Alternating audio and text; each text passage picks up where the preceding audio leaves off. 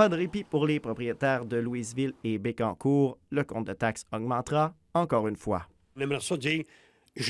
Ou bien on baisse, bravo. Impossible. On veut un budget responsable. Donc, responsable parce qu'on veut respecter la capacité de payer de nos citoyens. À Bécancour, on est en mode planification de la croissance, notamment pour accueillir les nouveaux résidents, les nouvelles usines, les entreprises. Mais pour ça, il faut investir dans les infrastructures. Accélérer le développement domiciliaire, mais toujours en étant dans une croissance qui est humaine, puis on, on la planifie durable, cette croissance-là. Même si les usines sont en construction, il faudra tout de même être patient puisque la ville devra attendre quelques années avant de percevoir les revenus liés aux taxes municipales des usines. Quelles seront les valeurs euh, qui seront vraiment imposées dans l'avenir?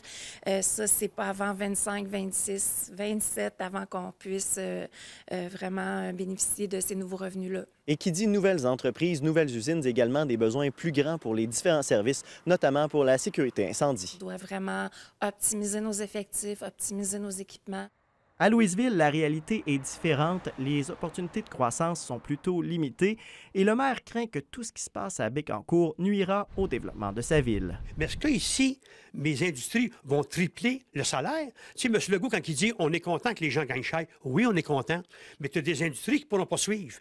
Alors là, on va vivre ça aussi dans quelques années. Le climat de dire on manque de personnel. Et c'est pour cette parcelle de terrain que la MRC et la ville se battent depuis maintenant près de 10 ans afin d'obtenir un dézonage pour y accueillir de nouvelles usines, mais en vain. Fait que, tu sais, on attend tout le temps, puis on attend ici, puis on attend là, puis entre ça, ben là, on sait que l'alimentation coûte de plus en plus cher, les gens ont de la misère à arriver.